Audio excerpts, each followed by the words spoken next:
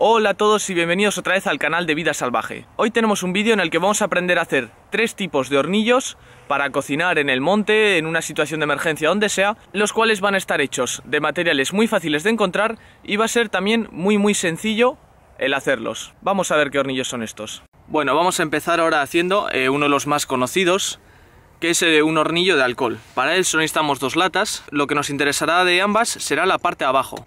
Podemos empezar por una haciéndole unos agujeros con un cuchillo, con un clavo, con lo que tengamos a mano.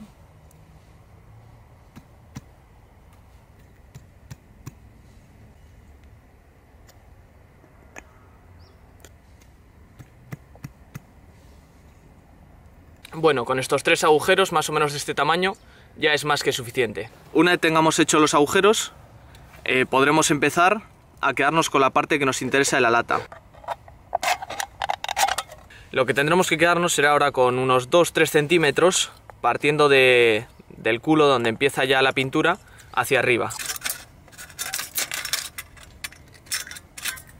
Ahora que tenemos ya las dos partes así cortadas como he dicho, lo que tendremos que hacer será la que tiene los agujeros, hacerle un pequeño corte en forma de V, ni siquiera de llegar hasta arriba, así, como veis, y de esta manera podremos encajarlas.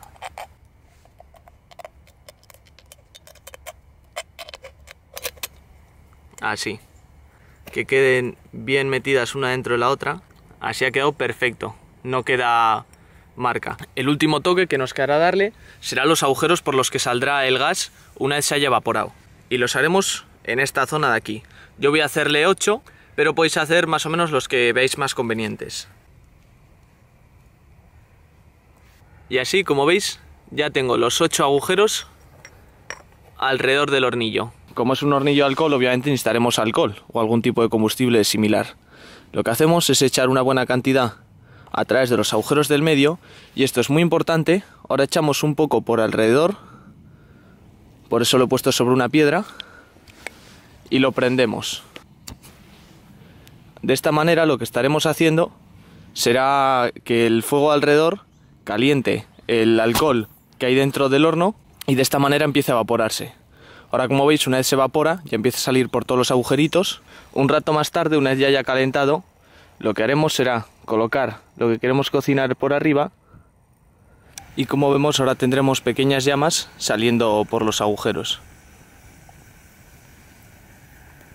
Ahora vamos con el segundo modelo de hornillo. Lo primero son los materiales. Simplemente necesitaremos un recipiente metálico, un poco de cartón y cera de vela. Lo que haremos entonces será coger cada tira y enrollarla sobre sí misma, hacerla como una especie de tubo y ponerlo dentro. Y volvemos a enrollarlo y esta sobre la nueva tira. Iremos repitiendo el proceso hasta que nos quede algo así. Ahora bien, este paso no es necesario, pero nos ayudará mucho a encenderlo, sobre todo la primera vez, si cogemos un trocito de servilleta, le intentamos meter más o menos en el centro de, del hornillo. Así. Ahora, si queda demasiado sobrante, pues simplemente recortamos un poquito y listo. Bueno, pues esto sería lo que es el horno en sí, la estructura, pero ahora necesitamos el combustible, que como ya hemos visto antes era cera. Lo que tendremos que hacer es, como he hecho yo, pues poner los trozos que tengamos en un recipiente metálico y ahora empezar a derretirlo. Bien, yo ahora para fundirlo voy a utilizar este como mini soplete o mechero de alta temperatura. Como vemos no tarda mucho en empezar a derretirse la cera. Bueno, ya tendríamos toda la cera derretida Así que ahora con mucho cuidado lo que tendremos que hacer será verterla en el hornillo.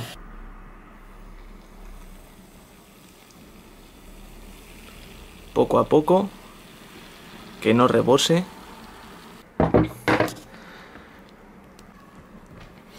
Como veis queda todo empapado en cera, así que ahora esperamos a que se enfríe.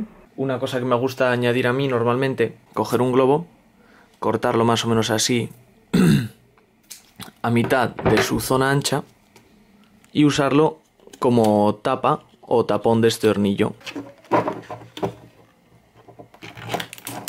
De esta manera queda totalmente contenido el, el hornillo, lo podemos lanzar en nuestra mochila sin miedo a que manche, ni se estropee ni nada. Tenemos que prender la mecha y poco a poco irá encendiéndose todo.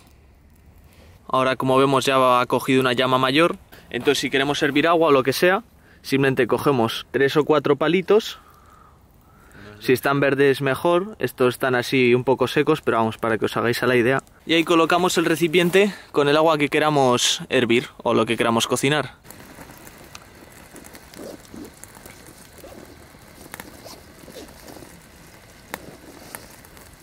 Bueno, para este último hornillo he cogido un trozo de chapa vieja de un microondas que ya no funcionaba. Pero vamos, podemos usar cualquier tipo así de chapa metálica que tenga un grosor mínimo. Y lo que vamos a intentar hacer es imitar uno de estos hornillos que suelen venir en las raciones militares. Aquí tenemos lo que es la forma principal. Ahora la vamos a recortar. Ahora que ya tenemos más o menos el cuadrado recortado, lo que haremos será de nuevo hacer unas marcas. En este caso en cada lado a los 4 centímetros más o menos así y ahora que las tenemos lo que haremos será hacer la línea en estas así que la línea continua será lo que cortaremos ahora en las de un lado y las del lado opuesto y ahora podemos dibujar, esto si queréis, unas líneas discontinuas o puntitos en estas que no hay que cortar y que es en el momento de usarlo por donde debemos doblar la chapa.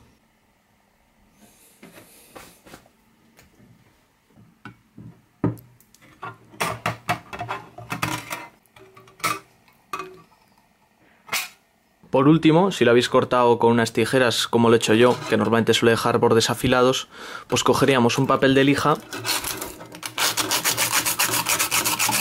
y lijaríamos un poco los bordes para que no corten ni pinchen ni puedan hacernos daño a nosotros o a nuestro equipo. Vale, ahora tenemos ya el último. Que este, como ya habéis visto, no ocupa nada, lo podemos meter en una mochila, sin no pesa tampoco. Y cuando lo queramos usar, lo único que tenemos que hacer es doblar por las líneas de puntos de la siguiente manera. Estos dos, los dos rectángulos pequeños, los doblamos hacia arriba. Perfecto. Y los otros hacia abajo. De esta manera. Nos quedan ahora los cuadritos así, que doblamos hacia los lados.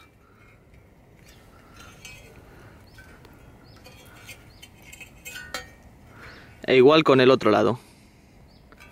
Y ya tenemos nuestro horno listo. Ahora, dependiendo cómo lo queramos usar, podemos colocar aquí nuestro lo que queramos servir y aquí el fuego, unas pastillas de encendido, como va a ser mi caso, resina de pino, o al revés, si sopla demasiado viento o está medio lloviendo y queremos el fuego más protegido, lo podemos poner aquí. Yo lo voy a hacer así para que tenga más tiro de aire. Bueno, como veis ya lo tenemos funcionando. Así que ahora si queremos cocinar o purificar agua, lo único que tendremos que hacer será colocar el recipiente encima y dejar que lo vaya calentando.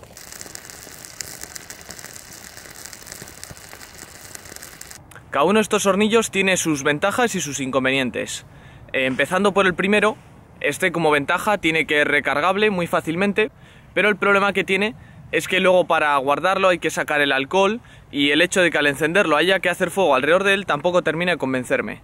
Lo bueno es que se puede recargar muy fácilmente y podemos llevar una botella de alcohol relativamente grande y ya tener para cocinar varias comidas. El segundo, este de aquí, es mi favorito eh, porque no solo viene ya contenido el propio combustible y también una cosa muy buena que tiene es que después de haberse usado, aún estando apagado, dura, no se exagero, igual hasta una hora, creo que es porque la cera guarda muy bien el calor, pero una hora más tarde lo sigues agarrando y la lata está caliente, está cálida, entonces como calienta manos es brutal, o sea, podemos estar en un sitio frío, lo encendemos, dejamos que se derrita bien todo, lo apagamos y tenemos un calientamanos que va a durar mucho tiempo.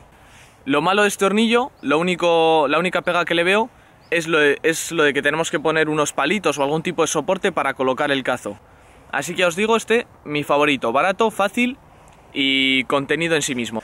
Y por último tenemos el de tipo militar, que no, lo bueno que tiene es que no pesa nada, no ocupa prácticamente nada tampoco, Es más o menos fácil de hacer dependiendo qué chapa estemos usando, pero lo malo es que necesitamos un combustible.